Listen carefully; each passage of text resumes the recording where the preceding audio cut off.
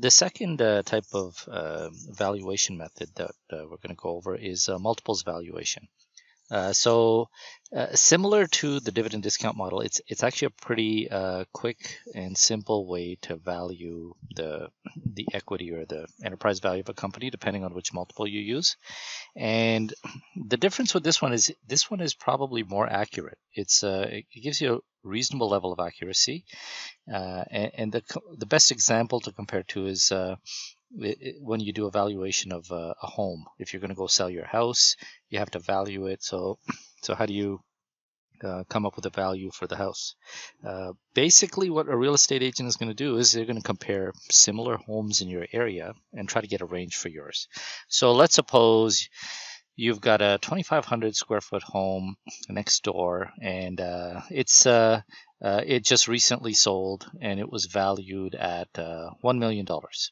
Okay, so that essentially gives you a a peg in the ground as to what a rough valuation is uh, for homes on your street. And now, not all of them are going to be identical, but if it's on the same street, you're going to say your house, uh, 3,000 square foot, is going to be worth more than a million. Now, it's not going to be a straight linear formula of 3,000 divided by 2,500 times 1 million. It's going to be, there's a lot of subjective factors, but it gives you a rough range. It's not going to be 2 million or 5 million, and it's not going to be 100,000. Um, you know, a reasonable range would be somewhere between 1.1 to maybe 1.3 million. And I just sort of made those numbers up. It's not a, a, a an accurate science, but uh, uh, one one of the value uh, uh, uh so what's a rough estimate? One of the values of this is that it's based on an actual transaction. So somebody actually did pay one million dollars for that uh, uh, 2,500 square foot home. So your 3,000 square foot home is probably going to be worth a little bit more. Gives you a rough uh, estimate, um, but it's not a completely made up estimate. And it can be done on any company as long as you are able to compare it to other companies similar to you maybe other companies in the same industry or um, similar industries. And um, often it's used to value the share price of a company. Uh, the there's various multiples that you can use, and they're going to be based on um, uh, a variety of income statement amounts or uh, uh income statement uh, line items. So you could base it on a multiple of sales. You could base it on a multiple of EBIT, which is earnings before interest and tax, or you could base it on a multiple of uh, net income that your company earns. And the key is to find um, other companies that are similar to your company, and those tend to be those that are in the same industry. So once you have companies that are in the same industry, um, they're very similar, uh, and it'll give you some comparable like the home down the street. So it's not a totally unrelated uh, multiple. The most commonly used multiple is a price earnings multiple, which is based on net income. And this is uh, calculated by the price of the share, that is uh, a market price, so somebody's actually paid that price, divided by the earnings per share.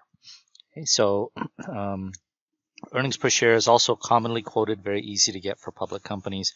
Uh, EPS uh, can be found pretty much on any website.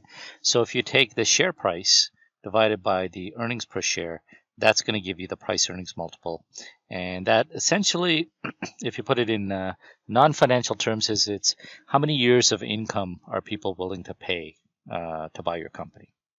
So if you, for example, you earn a dollar per share as earnings per share, for your company and your shares are trading at uh, $10 a share, then that means you have a price earnings multiple of 10 times. Okay, so you take uh, 10 divided by 1, and that's your multiple.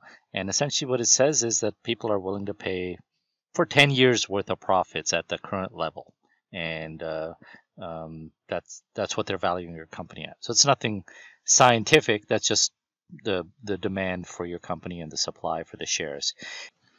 Now, if uh, you compare that to other companies in your industry, um, it gives you an idea as to how shareholders are valuing your company compared to others. So, what if you compare to another company uh, that's a competitor of yours and it is trading at 20 times earnings? Uh, essentially what shareholders are saying is they value their earnings much higher than they value yours so they're willing to pay more for it or they're implying more growth from that company. And similarly what if uh, the competitor trades at five times? Then in this case they're not valued as well as your company is uh, so they're willing to pay less for uh, for the share of that company